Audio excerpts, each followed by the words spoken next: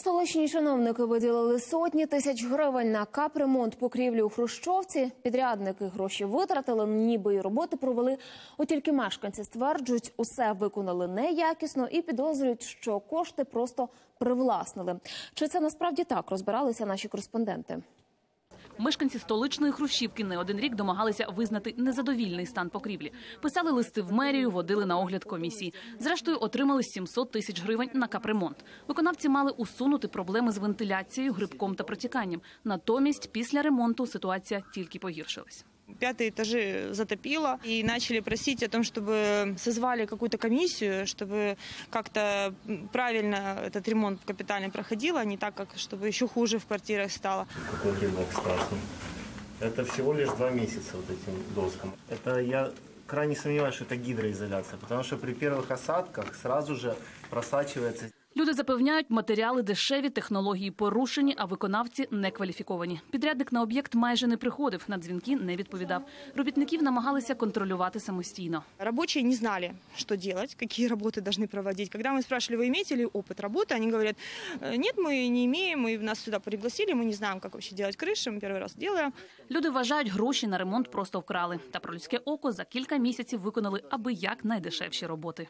Исходя из общения с рабочими, я знаю, что им не доплатили треть денег, потрачено до 100 тысяч гривен материала. Материал, который указан в дефектном акте и не завезен, предположительно тянет на 1400. С учетом того, что работа не доделана, э, на крышу потрачено из 700 тысяч гривен, э, без малого, около 200 тысяч. Комісія, яка оцінювала якість ремонту, виявила з десяток недоліків. А от хто є розпорядником коштів, наймає підрядників та приймає роботи, дізнаємося вже у Київській державній адміністрації.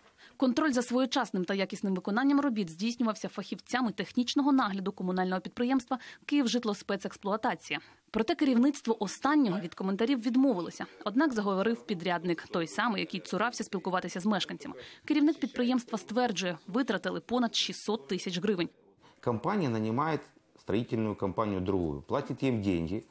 Э, И, естественно, мы сопровождаем, чтобы технологически все было сделано и правильно. Компания однозначно заинтересована. Почему? Потому что в том, чтобы, во-первых, а, выполнить работы, во-вторых, ну, если мы, например, ну, не отреагируем, вы поймите, это, во-первых, репутация компании, во-вторых, это же незаконно. Почему? Потому что ну, если есть акт, есть подписи, Запрошуємо незалежного експерта. Володимир не один десяток років займається ремонтом покрівель. Ну, это очень дешевенькая, скажем, львовская, там, по-моему. Это спарилась доска. Не переложена была, влажная была. А от щодо грошей фахівець обережніше в висловлюваннях. Каже, потрібно прискіпливо рахувати. В будь-якому разі ремонт капітальним не вважає. Надо посмотреть, сколько какого материала и соответствует ли он э, ну, тем суммам, которые были заложены в смету.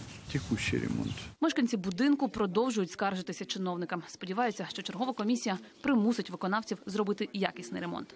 Ольга Теребинська, Катерина Персицька, Сергій Місоєдов. Подробиці телеканал Інтер.